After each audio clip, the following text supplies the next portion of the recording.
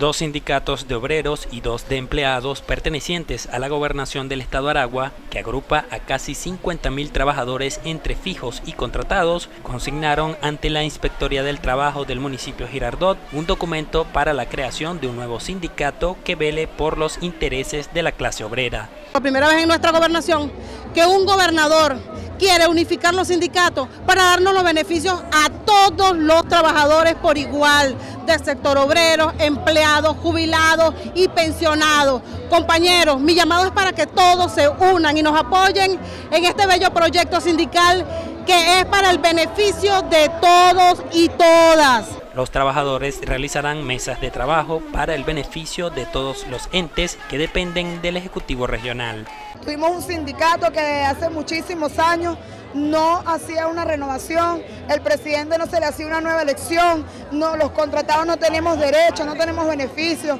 como contratados no podemos eh, tener bonos, no, podemos tener primas. Una mesa de trabajo